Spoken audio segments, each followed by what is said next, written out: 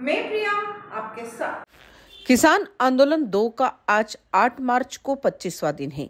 हरियाणा, पंजाब के हज़ारों किसान शंभू और खनौरी बॉर्डर पर डटे हुए हैं।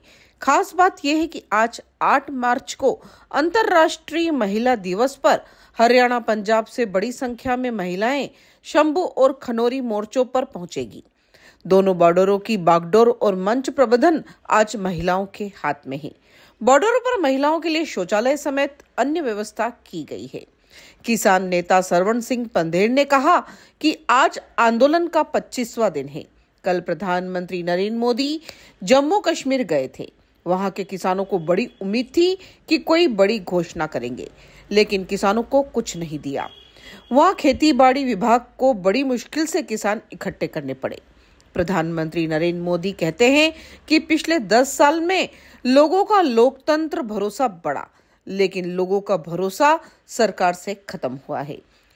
क्यों नहीं किसानों को दिल्ली जाने दिया जा रहा है? सरकार ने फैसला कर लिया था कि किसानों को दिल्ली नहीं जाने देना। कहा कि आज दोनों बॉर्डरों पर दस हज़ार महिलाएँ एकत्रित होगी। ये आंदोलन लंबा चलेगा। किसानों को इसके लिए पूरी तैयारी करनी पड़ेगी।